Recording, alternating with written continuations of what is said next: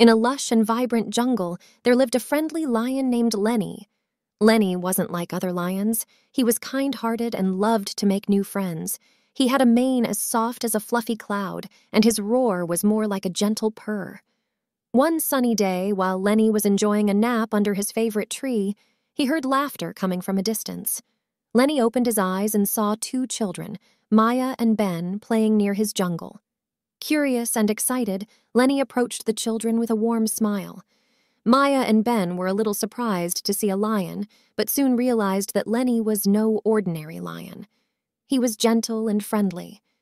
Lenny introduced himself, and the children introduced themselves in return. They quickly became friends, and Lenny decided to show Maya and Ben around the jungle. They explored the jungle's wonders, from the tallest trees to the trickling streams. Lenny even introduced the children to his animal friends, including Sammy the squirrel and Daisy the duck. As they ventured deeper into the jungle, they heard a faint cry for help. It was a baby monkey stuck high in a tree, too scared to climb down. Lenny, with a kind and reassuring voice, told the baby monkey not to worry.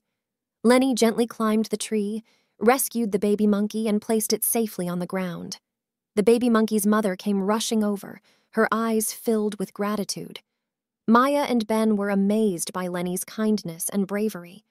They realized that even the king of the jungle could have a heart full of love and compassion. From that day on, Lenny, Maya, and Ben spent many joyful days in the jungle, helping animals and making new friends. They learned that friendship and kindness could create harmony in even the wildest of places. The moral of the story is that true friends come in all shapes and sizes, and kindness can bring people and animals together. Like Lenny, Maya, and Ben, be open to making new friends and helping those in need. And so, in that beautiful jungle, Lenny, the friendly lion, Maya, and Ben discovered that kindness is the key to making wonderful friends, no matter where your adventures take you. The end.